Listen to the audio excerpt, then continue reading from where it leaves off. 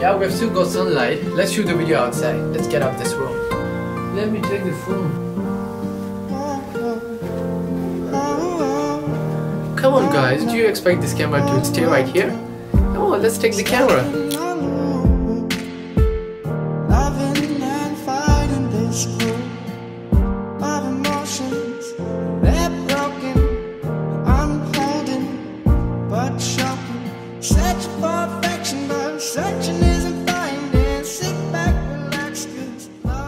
Hello YouTube, I'm Aftab Afridi from YouTube and I'm back with another video. So in this video we are going to be talking about handheld shots with Final Cut Pro. You're shooting with tripod but still getting the handheld out. Is that possible? Well this comes in the category of fake camera movements.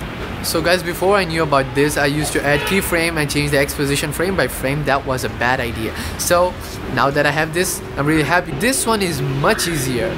So guys I have made a cinematic video about uh, Swat. This is my recent work. Make sure to give it a like. And another question that I had was that should I use English or Urdu slash Hindi for my YouTube videos? This is a question from my side. If you can answer this, make sure to comment down below, okay?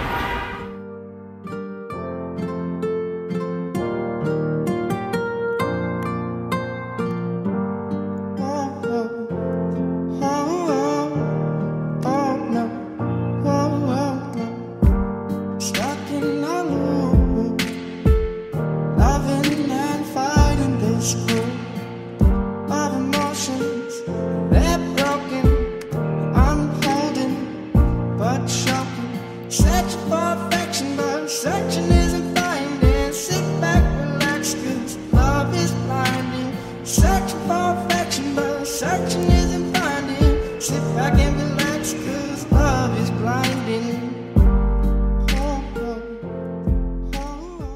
Wait, what? When you wanted it to be handheld, then why did you shoot it with tripod? Guys, use common sense.